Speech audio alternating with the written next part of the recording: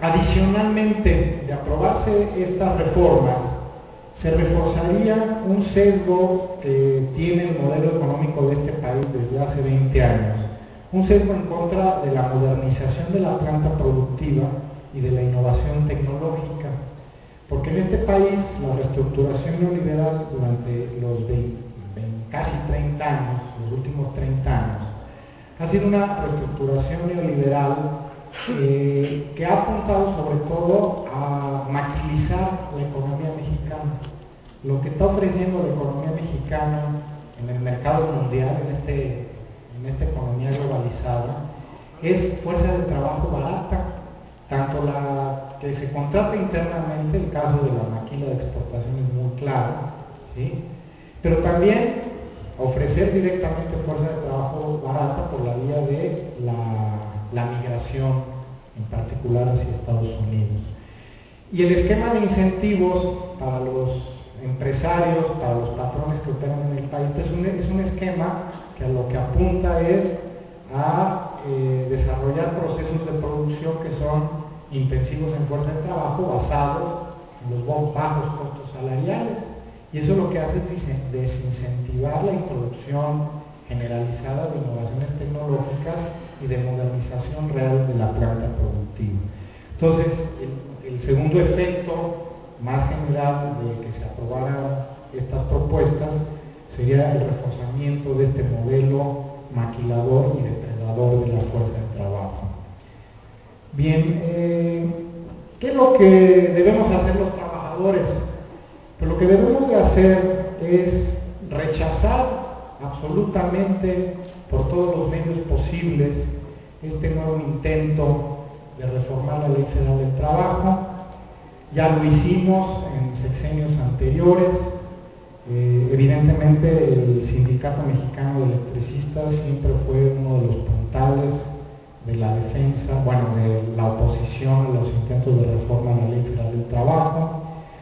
En el sexenio de Fox, también el sindicato minero fue uno de los bastiones en contra de la propuesta Bascal. No es gratuito el embate agresivo del actual gobierno justamente en contra de estos dos sindicatos, porque eh, fuimos, fueron los que encabezaron la lucha conjunta en contra de la desaparición de la Ley Federal del Trabajo. Entonces, pues tenemos que oponernos con todos los medios a esta propuesta pero también hay que evitar que se abra la discusión sobre las reformas a la Ley Federal del Trabajo. Aquí yo sé que a lo mejor no, no hay pleno consenso entre el sindicalismo independiente. Hay una propuesta de la UNT-PRD, también a discusión. Eh, es peligroso que se discuta la propuesta de la UNT-PRD, aunque tiene aspectos que son interesantes y yo creo que son rescatables pero es peligroso que se haga la discusión general por la correlación de fuerzas que tenemos en este momento. Eh, la unidad es muy importante, pero también en términos estratégicos, los trabajadores debemos de abrir los frentes de lucha cuando nos conviene abrir los frentes de lucha. No nos conviene abrir un frente de lucha cuando la coyuntura y el contexto de correlación de fuerzas nos es desfavorable. ¿Por qué nos es desfavorable? Más allá de las cuestiones eh, políticas, más allá del embate tan agresivo del gobierno federal a través de la Secretaría del Trabajo en contra de los sindicatos y del movimiento obrero en general, eh, la misma situación de crisis tan profunda que estamos atravesando en este momento nos coloca en una situación en que por puro contexto económico estamos en condiciones de debilidad. Y no solo los trabajadores mexicanos, sino los trabajadores a nivel mundial. La respuesta del capital cuando hay una crisis siempre es echarle la carga de la salida de la crisis a los trabajadores. Y lo estamos viendo a nivel mundial. En, España la semana que van a imponer unas reformas laborales los mecanismos de salida a la crisis en los países europeos son eh, mecanismos de salida que nosotros los conocemos muy bien porque nos los han aplicado sistemáticamente a través del Fondo Monetario desde los años 80. Sorprende que en, en Grecia, en Inglaterra, en Italia, se está planteando el mismo esquema en donde todo el costo de la crisis y la carga para salir de la crisis va sobre los trabajadores. Reducción de pensiones, despidos, reducción directa de salario, ¿eh? reducción de salario en términos nominales. Entonces, por eso insisto, este no es el momento que a nosotros nos convenga en entrar a una discusión de la legislación laboral en su conjunto. Yo creo que sí, y lo debemos de hacer, y con esto comienzo mi conclusión para no colgarme tanto, nos debemos de oponer a esta propuesta. Debemos de impedir la apertura de una negociación general de la legislación laboral vigente. Pero no hay que quedarse de brazos cruzados. Yo creo que tenemos que impulsar ¿sí? Eh, una línea, líneas de acción que no nada más sean defensivas, sino que también sean ofensivas, pero que sean particulares, que no nos metan en la lógica de la discusión general de la legislación. ¿Cuáles deberían de ser esas líneas eh, estratégicas ofensivas? Yo creo que la primera es la de un programa de recuperación del poder de compra de los salarios, un programa de emergencia de recuperación del poder de compra de los salarios. ¿Por qué? Porque se puede eh, argumentar y justificar que uno de los grandes lastres de la economía mexicana eh, es el estancamiento del mercado interno. Las pequeñas, medianas, microempresas, incluso las medianas empresas, no han tenido capacidad de expansión. ¿Por qué? Porque el mercado interno está congelado desde hace casi 30 años. Y la posibilidad de expandir dinámicamente el mercado interno pasa necesariamente por un incremento en el poder de compra de la gente que tiene trabajo. Una línea de este tipo tendría, podría ser también la base para establecer alianzas.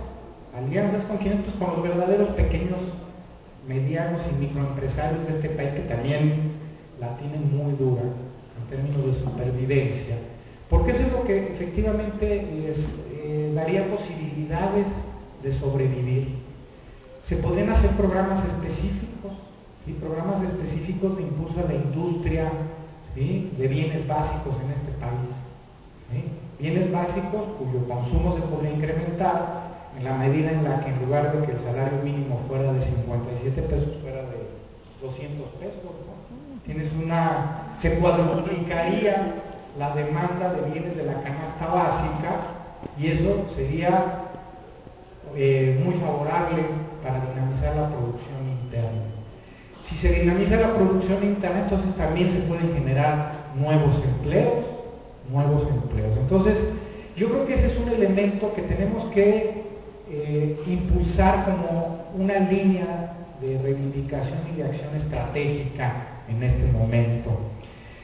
Una segunda línea que yo creo que es muy importante es la de luchar porque se instaure un seguro de desempleo de cobertura universal en este país.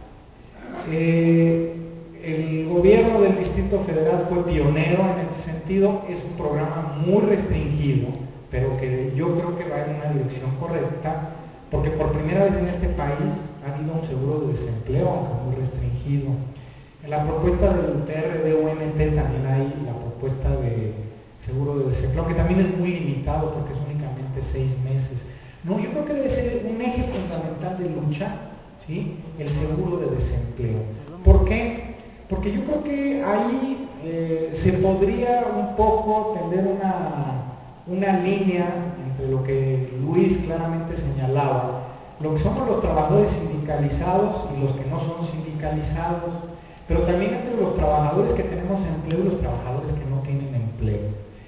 Y la lucha de los trabajadores no nada más debe ser la unidad de los que estamos sindicalizados, sino la unidad de todos los trabajadores que tenemos empleo y de todos los trabajadores desempleados. La lucha por un seguro de desempleo universal, y sin límites, yo creo que debe ser uno de los ejes de lucha, no solo para los sindicatos, sino para todos los trabajadores, empleados y desempleados de este país. Eh, por falta de tiempo, bueno, no profundizar, profundizaré otras estas líneas. En realidad estas dos líneas que yo considero deberían ser líneas de lucha particulares pero estratégicas que deberíamos de impulsar, en los hechos implican y eh, plantear un nuevo modelo económico en este país.